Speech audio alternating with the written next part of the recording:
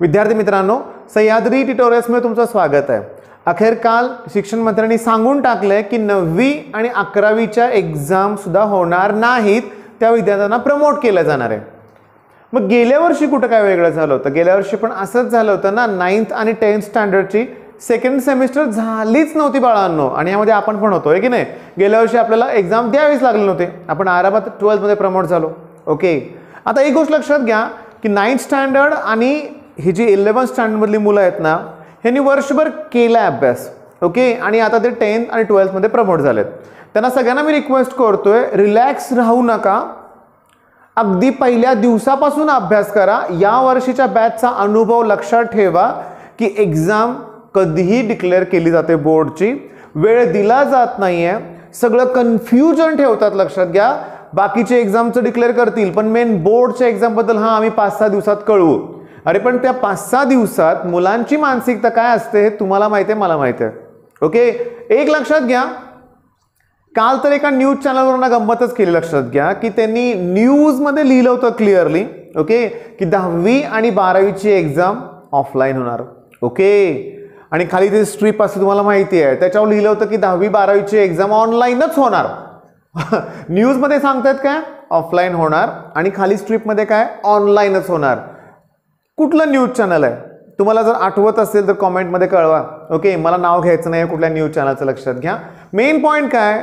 तुम्ही बघितलं ना मी दिनेश सरांचं चॅनल फॉलो करतो. कालच्या लाईव्ह लेक्चरला लक्षात घ्या. तुम्ही जर बघितलं दीड लाखापेक्षा जास्त व्ह्यूज आहेत. ओके मुलं आहेत किती?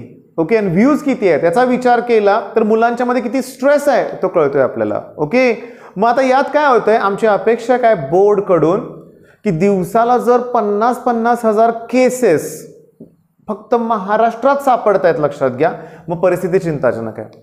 गेल्या वर्षी याच हाच पिरियड होता म्हणूया आपण. गेल्या वर्षी जेव्हा पूर्ण देशामध्ये एक एक हजार दोन दोन हजार केसेस सापडत होत्या ना तेव्हा देखील लोक घाबरत होते. पूर्ण देशात एक हजार. आता आपल्या महाराष्ट्रातच पन्नास हजारपेक्षा जास्त पेशंट एका दिवसात सापडत असतील तर ही चिंताजनक परिस्थिती आहे. ओके मग याच्यावर उपाय काय? एक्झाम कॅन्सल करणे हा उपाय नाही आहे ऑनलाईन नाहीत घेऊ शकत ते. ऑफलाईनच घ्यायचे. आहे मग मुलांची एकच मागणी आहे की एक्झाम ऑफलाईन घ्या पण थोडीशी पुढे टाकला यात पुन्हा गट निर्माण होणार. सगळ्यांचं एकमत कधीही नसतं. यात काही मुलं शंभर टक्के म्हणणार आहेत की होऊ दे एक्झाम मी तुम्हाला सांगू का? जेव्हा गेल्या वर्षी असंच झालं होतं जेईच्या एक्झामच्या वेळेस सीईटीच्या एक्झामच्या वेळेस खूप प्रयत्न केला होता. नेक्स्ट अटेम्प्टला म्हणूया आपण की पुढं जाऊया. एकदा पोस्टपॉन झाली होती सीईटी जेई पण. पण जेव्हा नंतरच्या डेटला पण मुलांनी मागणी केली होती अजून पोस्टपोन करा अजून परिस्थिती चांगली नाही आहे लक्षात घ्या. पण त्यावेळेस नाही झाली. आणि तुम्हाला सांगू का एक्झाम झाली प्रॉपर प्रिकॉशन्स घेतल्या गेल्या होत्या. आता एक्झाम झाल्यानंतर जेव्हा मुलं बाहेर येतात ना तेव्हा पालक विद्यार्थी यांची गर्दी प्रचंड होणार यात मात्र काही वाद नाही लक्षात घ्या. पण निदान एक्झाम सुरू असताना मात्र प्रॉपर सोशल डिस्टन्सिंग म्हणा तो मास्क पण खरं सांगू का मला तुमची काळजीच वाटते बाळांनो लक्षात घ्या. का माहिती आहे का? तो मास्क लावून तीन तास बसणं. बाळांनो इथं दहा मिनटं सुद्धा मास्क लावणं फार कठीण होतं. मग तीन कुठं? साडेतीन तास आपल्याला बसायचं. मग हे पॉसिबल होणं थोडंसं कठीण वाटतंय ना? मग विद्यार्थी मित्रांनो खरं सांगू का तुम्हाला मी? की यांच्याकडे लक्ष देऊ नका प्लीज बघू प्रॉपर न्यूज केव्हा येते त्यावेळेस. ठीक आहे? आणि न्यूज आल्यानंतर आम्ही तुमच्यापर्यंत पोहोचवणारच आहे. मग तोपर्यंत काय केलं पाहिजे? अभ्यास. आणि मला सांगताना अतिशय आनंद होतोय. काल सकाळी सात वाजता लेक्चर झालं थर्मोडायनामिक्स हो एका मुलाचं कमेंट असं होतं की तुम्ही फक्त शिकवत तर काहीच नाही आहे आणि दहा दहा मिनिटाचे तुमचे लेक्चर्स आहेत. मी तुम्हाला मित्रांनो सांगू का? मी तुमच्याकडून अभ्यास करून घेतोय तुम्हाला टार्गेट देतोय की एवढं हे करायचं आहे पण त्या पॉईंटशी रिलेटेड बरेचसे व्हिडिओ ऑलरेडी माझे तयार आहेत. ते डिस्क्रिप्शनमध्ये असतात बाळांनो ते तुम्ही फॉलो करू शकता. येतं का ध्यानात?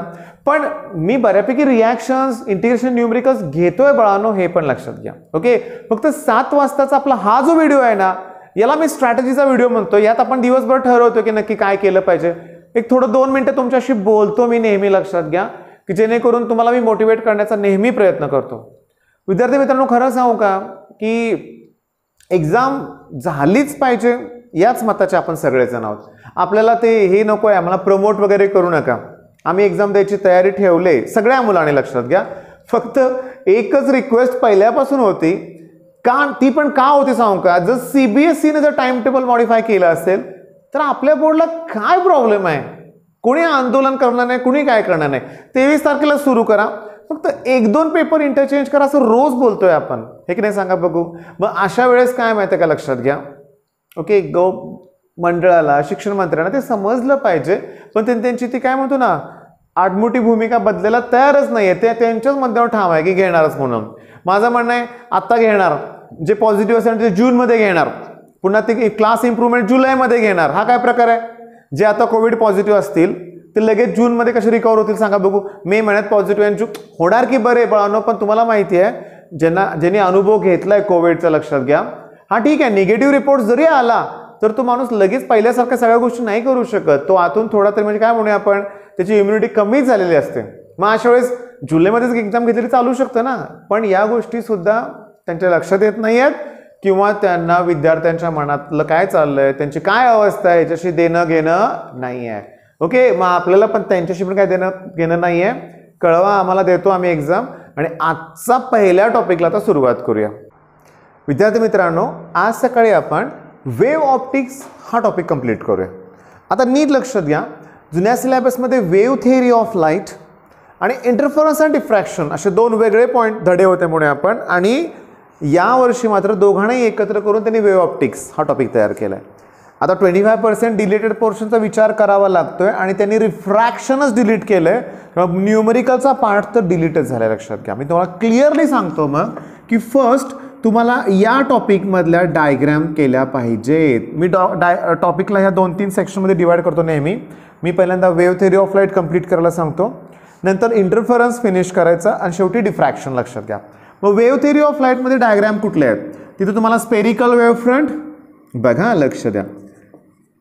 पहिली डायग्रॅम आहे ती स्पेरिकल वेव फ्रंट दुसरी डायग्रॅम तुम्ही करा प्लेन वेव फ्रंट आणि तिसरी डायग्रॅम आहे रिफ्लेक्शनची आणि हे रिफ्लेक्शन तुम्हाला एक्सप्लेन करायचं आहे on the basis of Huygens wave theory लक्षात घ्या. म्हणजे तुम्हाला रिफ्लेक्शनची डायग्राम काढताना तो फ्रंट घ्यायचा आहे आणि त्याचं पुन्हा रिफ्लेक्शन दाखवायचं आहे आता जुन्या सिलेबसमध्ये हा अँगल असा तिरका होता.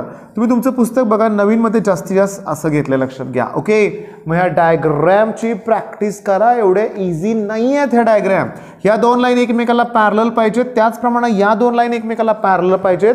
आणि त्याचप्रमाणे सांगू का तुम्हाला? इथं जर नॉर्मल काढला तर हे दोन अँगल इक्वल पाहिजेत. मग आयडिया सांगू तुम्हाला मी. समजा इथं तुम्ही नॉर्मल काढला. ओके इथं प्रिंटेड लाईन असतात ना. समजा इथं एक दोन तीन चार समजा इथं पाचवी लाईन आहे. तर इथून एवढं डिस्टन्स किती आहे ते बघा.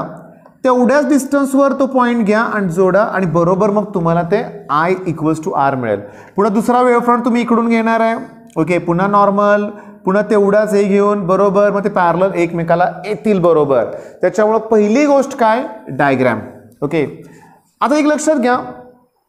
समजून घेण्याचा प्रयत्न करा की याच धड्यामध्ये म्हणजे वेव ऑप्टिक्समधला वेव थेरी ऑफ लाईटमध्ये लक्षात घ्या की plane wave front spherical wave front define wave front Huygens principle हे क्वेश्चन सुद्धा जरी असले ना तर तुम्ही अगोदर ते केलेत हे मला माहिती आहे. पण नीट बघा ना एक्सप्लेन रिफ्लेक्शन ठीक आहे draw a neat level label ray diagram हा प्रश्न चार पाच वेळा रिपीट झाला आहे आता होणार आहे काय की मग न्यूमरिकलमध्ये तुम्हाला रिफ्रॅक्टिव्ह इंडेक्सचे फॉर्म्युले कुठले आहेत? आता रिफ्रॅक्टिव्ह इंडेक्ससाठी हा पण फॉर्म्युला आहे. आता समजा refractive index of medium with respect to air असेल तर एअरमधली विलॉसिटी अपॉन मीडियममधली विलॉसिटी एअरमधली वेवलेंथ अपॉन त्या मीडियममधली वेवलेंथ मग असे सिंपल जे काय न्यूमरिकल्स आहेत ते करावे लागतील.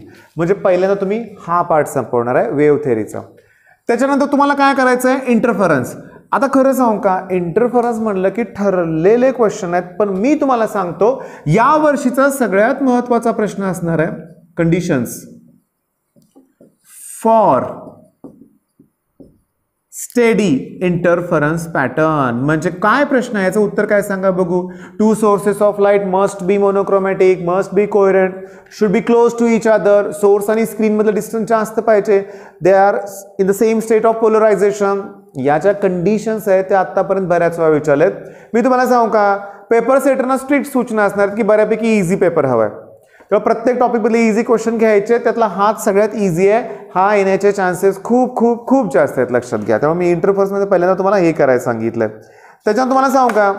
त्याच्यानंतर नेसेसरी कंडिशन्स हाच बऱ्याच वेळा रिपीट आहे त्याच्यानंतर तुम्हाला सांगू का? पुन्हा कंडिशन्स पुन्हा अनालिटिकल मेथड म्हणजे तुम्हाला सांगू का? नेक्स्ट तुम्हाला ना इंटरफरन्स एक्सप्लेन करण्यासाठी ॲनालिटिकल मेथडचा यूज करायचा आहे मग तुम्हाला सांगू का? हे दोन सोर्सेस ही डायग्राम तुम्हाला आठवते का बघा? ठीक आहे. इथे तुम्हाला या ट्रायंगलमध्ये या ट्रायंगलमध्ये पायथागोरस वापरायचं आहे आणि तुम्हाला ते एक्सप्रेशन पार्ट डिफरन्ससाठी किंवा fringe width sorry fringe width pant विडसाठी एक्सप्रेशन फाइंड आउट करायचं आहे. ओके त्याच्यानंतर तुम्हाला मी सांगू का?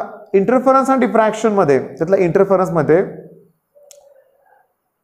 एवढेच. म्हणजे पेज भरून प्रश्न आहेत पण तेच तेच प्रश्न परत परत रिपीट झालेत. कंडिशन्स फॉर पुन्हा थिअरी ऑफ थिअरी म्हणजेच अनालिटिकल मेथड हेच. थिअरी ऑफ इंटरफरन्स बँड हेच परत दोन क्वेश्चन्स रिपीट झालेत लक्षात घ्या. आता तिसरा जो सेक्शन तुम्हाला घ्यायचा आहे बरं यात यंग्स एक्सपेरिमेंटची डायग्राम सुद्धा करा.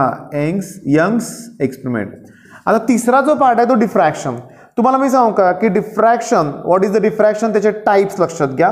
आणि डिस्टिंग्विश बिटवीन इंटरफरन्स आणि डिफ्रॅक्शन लिहित नाही तर मी लक्षात घ्या पण हे क्वेश्चन्स तुम्हाला करायचे ओके याचे आय एम पी क्वेश्चन्स मी ऑलरेडी प्रोव्हाइड केलेत तो व्हिडिओ एकदम व्यवस्थित आहे फक्त मला तुम्हाला आता सांगायचं की हे आपल्याला फिनिश करायचं आहे ओके अकरा वाजता तुम्हाला पुन्हा रिॲक्शन्स किंवा मॅथ्स एक न्यूमेरिकलचा व्हिडिओ नक्की मिळेल ते तुम्हाला पुन्हा फिनिश करायचं आहे काल आम्हाला आनंद होतो आहे सांगताना की मी आणि Sahyadri mathematic plus plus Sahyadri mathematic plus आणि सह्याद्री बायोलॉजी प्लस या तीन चॅनलवरती मिळून आम्ही तुम्हाला आठच्या आसपास व्हिडिओ प्रोव्हाइड केले होते. ओके आणि पहिल्या या व्हिडिओत थोडंसं मी तुमच्याशी बोलतो मगाशी बोललो तसं. पण नंतरच्या व्हिडिओत शिकवलं जातं आहे ते तुम्हाला करायचं आहे टार्गेट दिलं जातं आहे ते फिनिश करायचं आहे. मग घ्या कधी पण एक्झाम आमची तयारी आहे असा आपला ॲटिट्यूड निर्माण होईल लक्षात घ्या. आणि ही जी तयारी करताय ना याचा तुम्हाला सी ई टीला पण नक्की फायदा होणारच आहे. करा चांगला अभ्यास मित्रांनो. बेस्ट ऑफ लक धन्यवाद.